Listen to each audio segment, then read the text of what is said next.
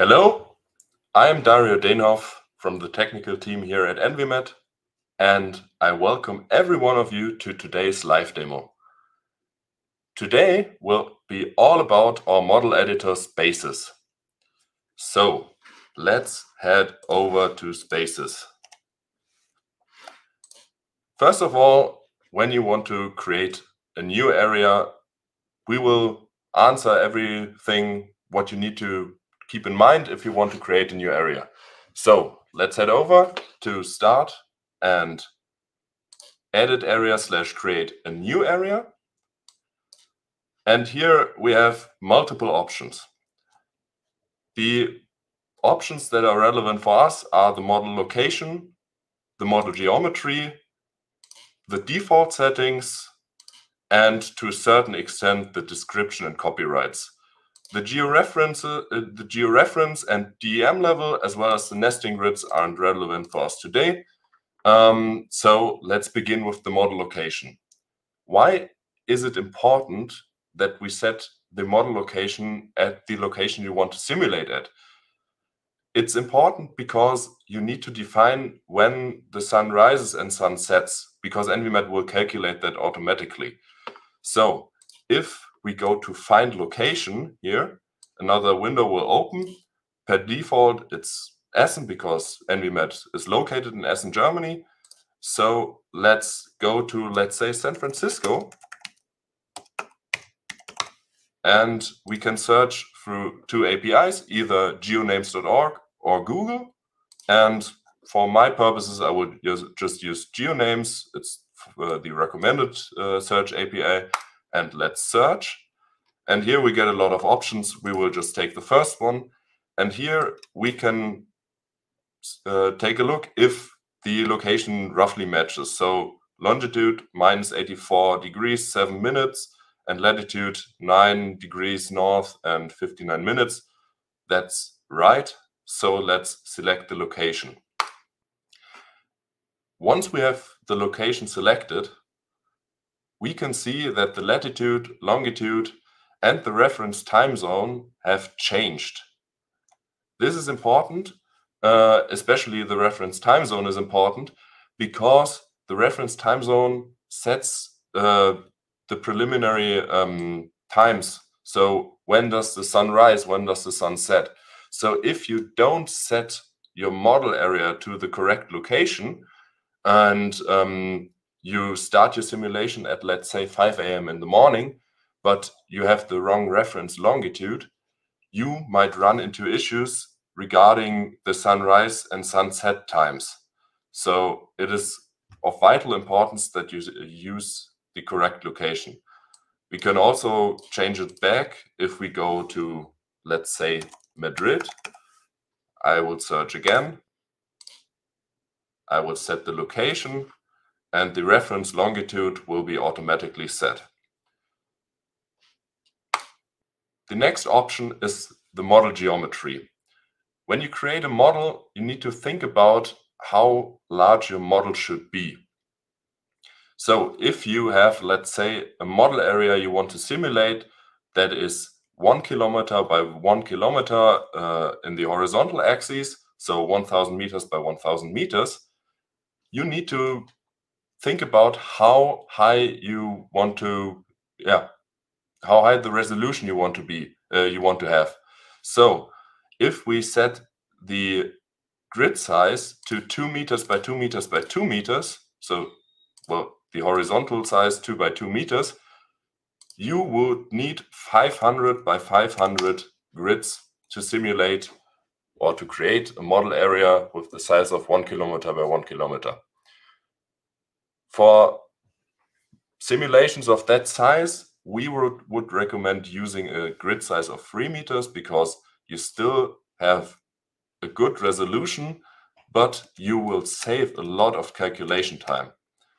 Because once you've reduced it, you uh, once you've increased the grid size, you can reduce the amount of cells you will use. So by three meters, we need 333 by 333 grids.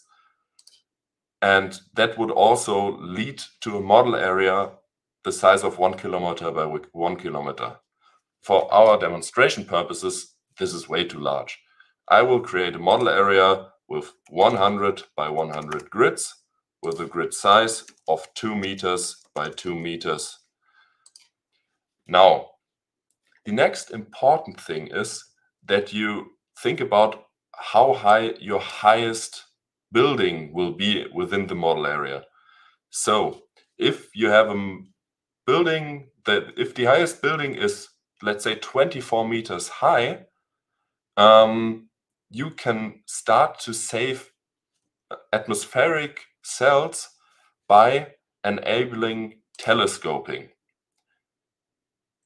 The telescoping will lead to increased grid cell vertical grid cell sizes um, after a certain point you define. So if let's say a building is 24 meters high, you can start the telescoping at 25 meters and increase every subsequent grid cell above by, let's say, 15%. Another important option you need to take into account is to split the cell, the lowest cell to the ground into five subcells. Why do we have that option?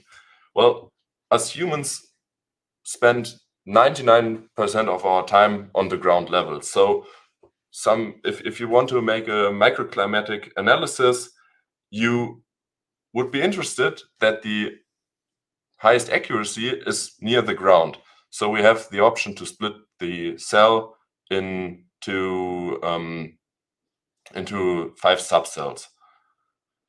It is important to keep in mind if you have a model resolution of one by one by one meter, do not enable the splitting because that will lead to instabilities within the model.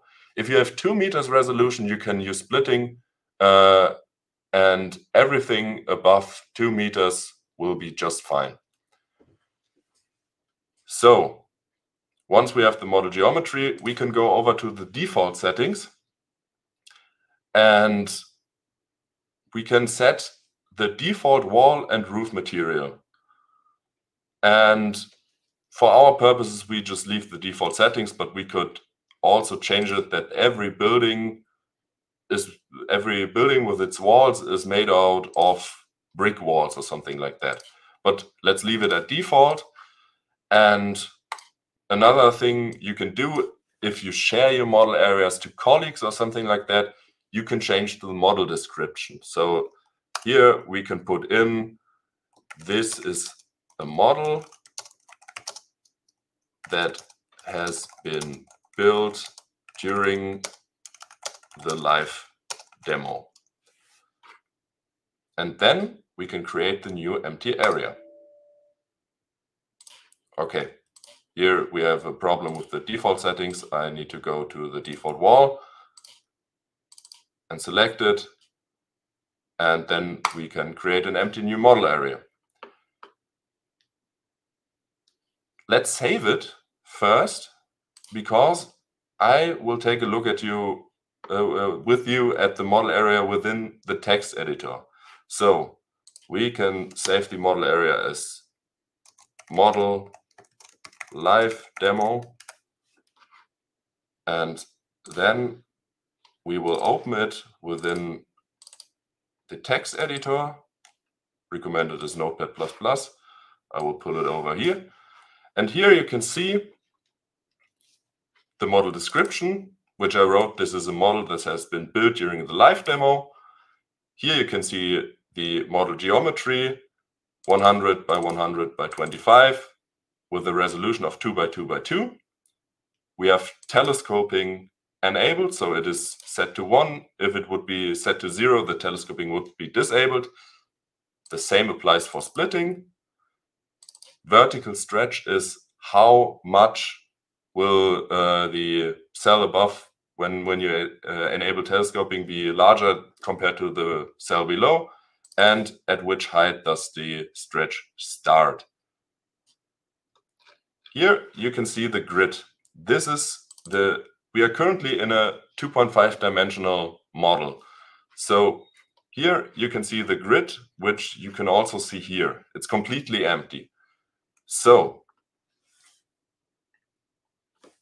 next, we talked about the telescoping.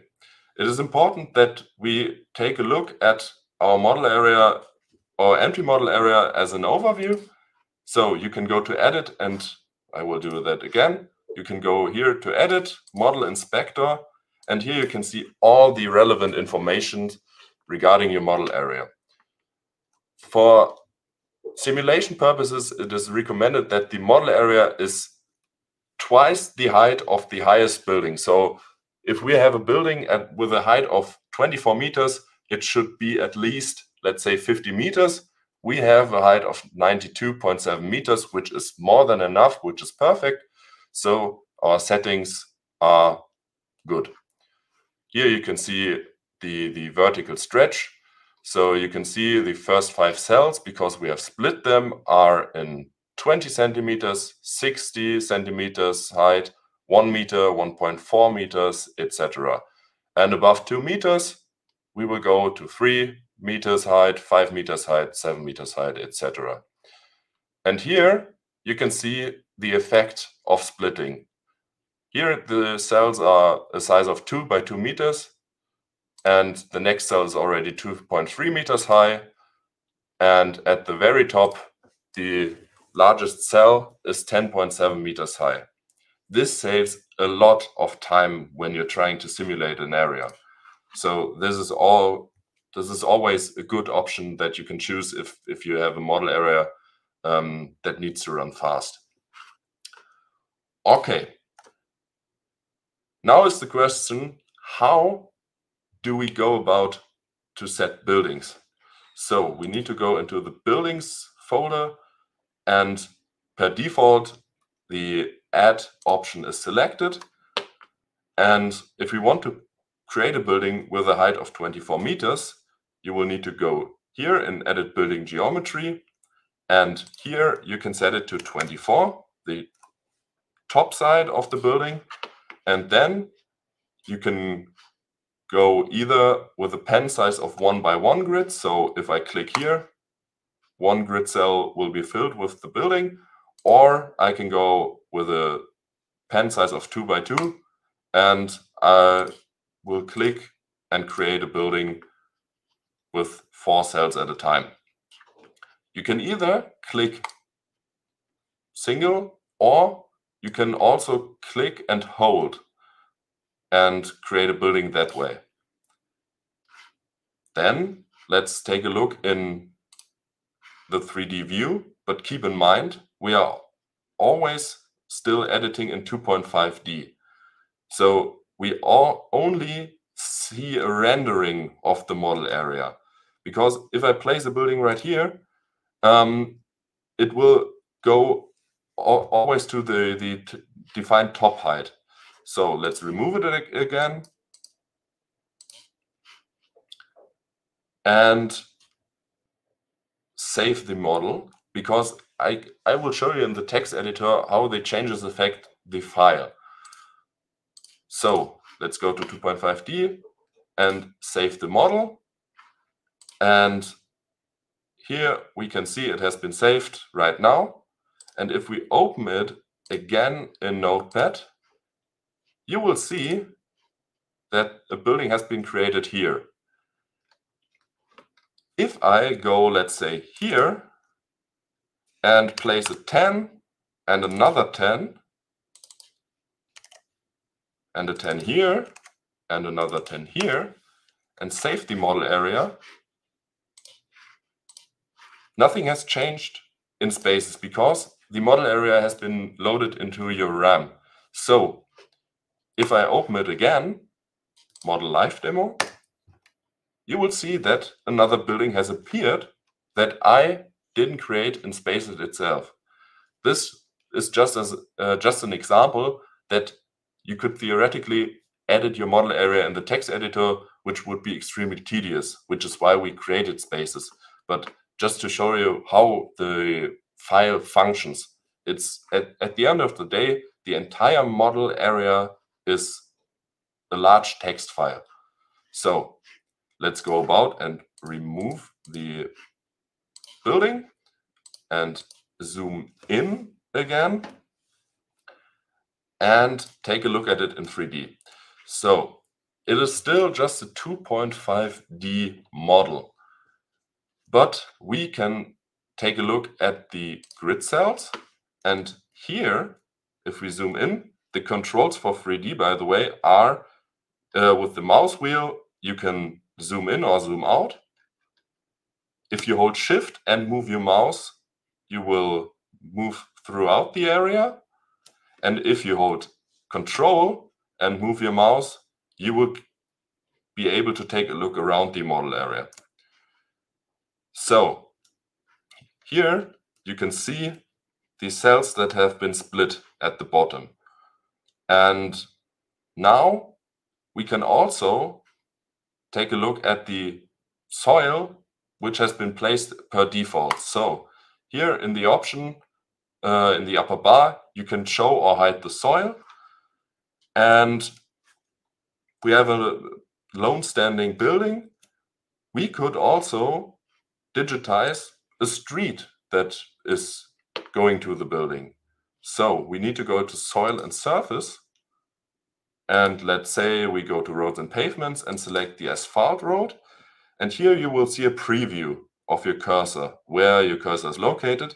And again, just like with buildings, you could either do a single click and place a single cell with asphalt street, or you can click and hold and also hold in the other direction to, let's say, do a two by two street. And similar to here. And we've just built a street. We need to save the changes. We can override it. You get um, a version uh, warning that you would override it. In our case, it's okay. It is recommended that if you do iterations of your model, you will save it as a separate model. So if you try out something uh, in your model area and it doesn't work, um, you can't reword it once you've saved the file. So it is important that you manage your, your model areas. All right, this is everything from the basics in 2.5D. We go back. If you have rendering problems, by the way, the, the rendering is done through OpenGL. If if if you go uh, if you switch between the 2D view and the 3D view, and um, in the 3D view nothing appears, you will need to move your mouse and then the model area will get rendered again. Another important point for us is to place um, trees.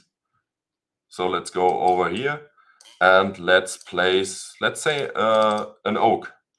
And here you can see a preview how the crown of the tree um, would be spanned through the model area. So we can place a tree here and another tree here and another tree here.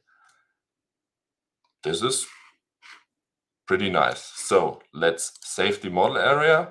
And in that case, I will do an iteration. So I will save it with trees.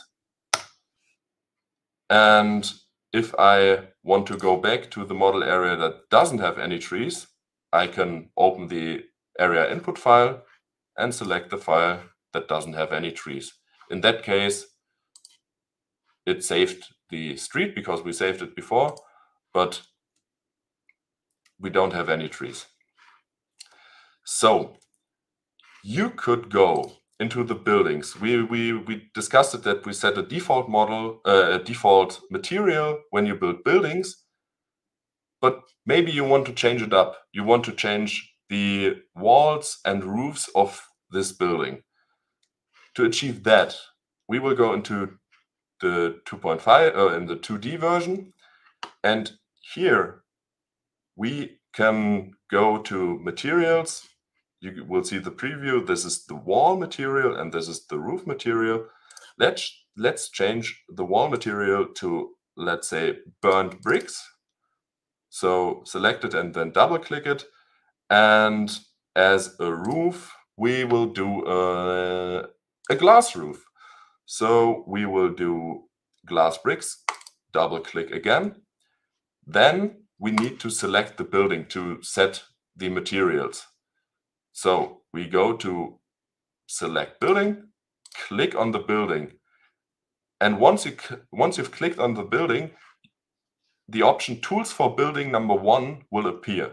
You can click here and there you get separate options. We can apply the materials. Let's do that. But we could also remove the building as a whole if you don't want to remove it one by one. Um, we could also apply, same as with materials, we can apply the greenings. So let's first take a look at the buildings. If you want to deselect it, just go to add.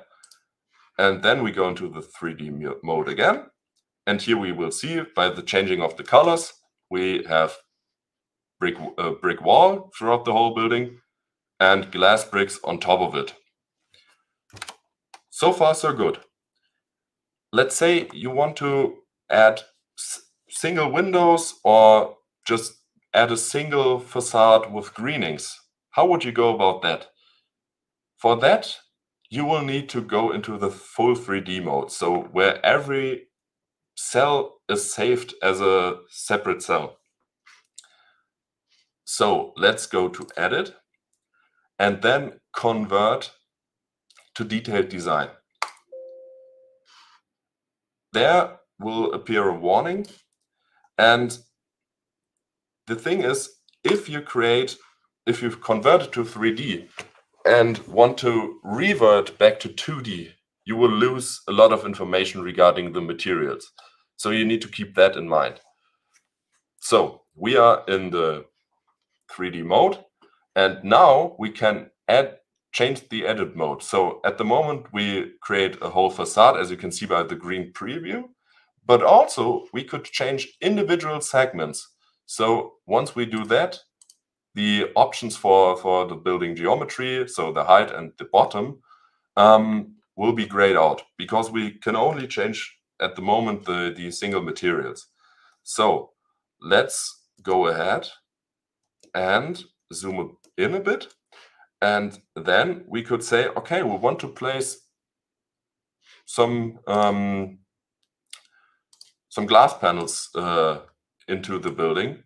So we will select the wall material and go over to glass and say clear float glass. And once we do that, we can go here into the building and click and click and click again. And you will see we just digitized single cells, which is great. You could also uh, click and hold again. And um, let's say we want to add a facade greening uh, to the brick wall. So let's go back. We select the brick wall and select the facade greening. Let's say we take um, a greening with a sandy substrate. And here, by the changing of the color, you can see that we created some greening. If you want to add the greening up until the bottom of the building, you will need to uh, digitize it for every single subcell. Um, this is just due to uh, that the cell has been split. So if we want to save it as a 3D model, we can already go ahead again and save model as. And now let's save it as model live demo, but with a tag that says 3D. So now we have various model areas, one in 2.5D and one in 3D, and we can switch between them if if we wanted to, because well, it it's always useful if if you run into some problems that you can revert back. If you have any questions, feel free to ask. I can see uh, already some questions. How does this link to QGIS? This is a great question. Um, you need to keep in mind uh, if you are someone who works with QGIS, if you export a model area from QGIS to ENVI-met, uh, the changes you will make in ENVI-met will not apply to the, the QGIS model. So these are separate, separate model areas. Um, this is an important thing that you need to keep in mind. But a great question. Paula Amelung asked, why is there a special 3D slash detailed design mode? Could it not always be 3D if that is better for editing the facades in detail? Yes, that is a great question. Um, we have created it because um, not everyone will need to do detailed designs. If you look, want to take a look at a broader area, let's say of one by one kilometer, and want to analyze larger changes, the changes you will make to the facades from the different buildings won't have a great impact on your simulation. So if if you want to analyze, let's say, um, the southern tip of Manhattan, it is it is not recommended that you do it in 3D because it needs a lot of space uh, in your model area. The model area gets more complex the more um, geometry you add, which increases the simulation time. This is why we have for each case the the more a bit simpler method where you um, create buildings in 2.5D, or if you want to take a closer look at, let's say, a, a subset of buildings and the effects of the changes of, of the materials, then the 3D mode is for you. I hope that answered it.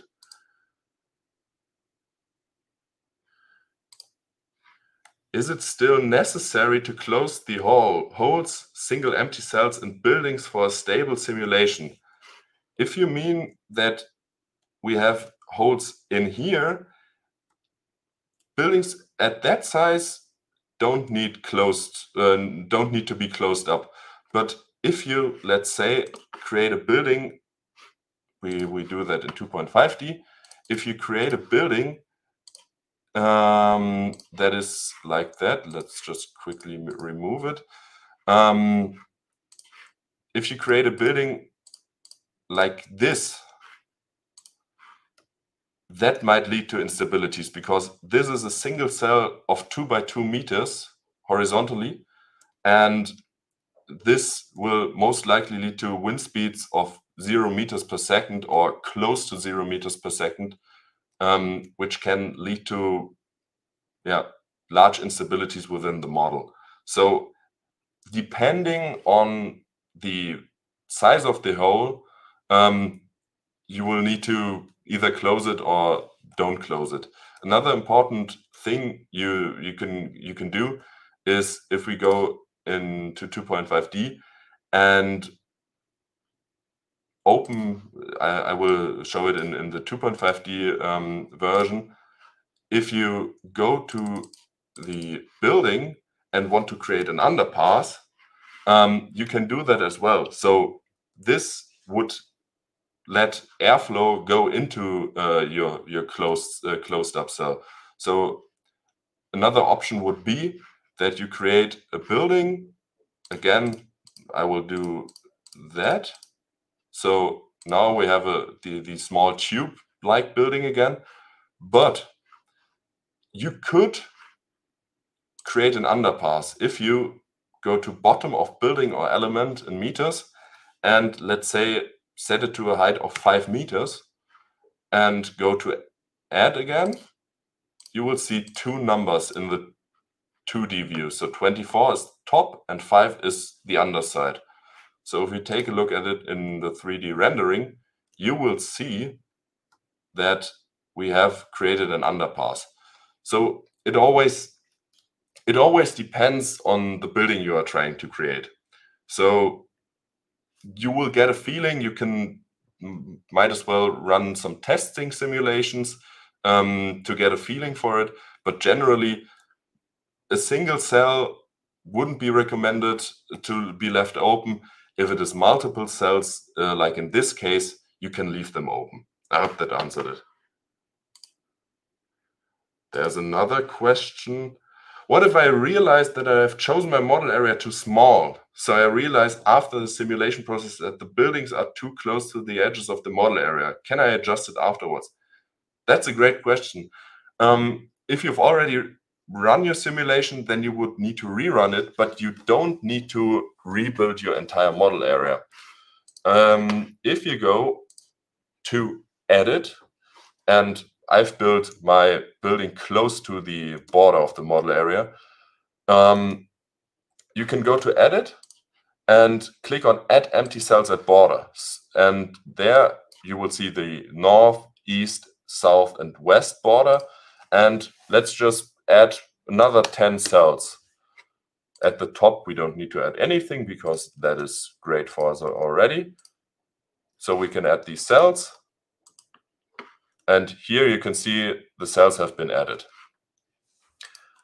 So you could add the empty cells to the border, but you would need to rerun your simulation.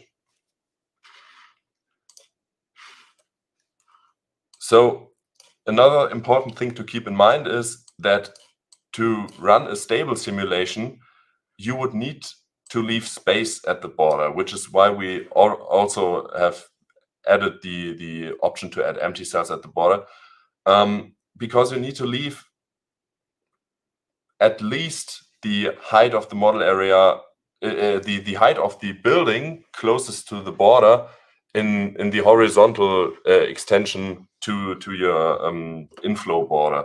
Because if you build too close to your model uh, area border, um, I can show you the, the outline of the model area. Well, here it ends. And if the building, let's say the, the wind comes from this side, and if the building is too close to the inflow border, this will lead to instabilities or even crashes within the simulation. So recommended is at least five to 10 cells. The best would be that if uh, if you leave at least the height of the building closest or even double of uh, the height of the closest in the horizontal um, extent. Are there any other questions?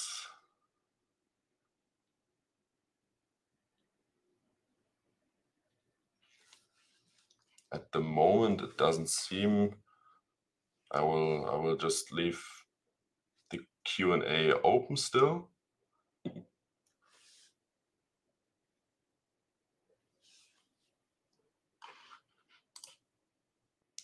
And another great thing uh, I would recommend if, if you're getting uh, started with ENVI-met is uh, you can watch the Getting Started series or even the deeper dive, uh, the Unfolded series. And for tips, if, if you don't want to, to go through, through longer tutorials, we also have a quick tip series you can see on our channel um, where the functionalities of options like add empty cells at the border uh, are explained in short videos. That is also highly recommended to watch if you have some specific problems. All right.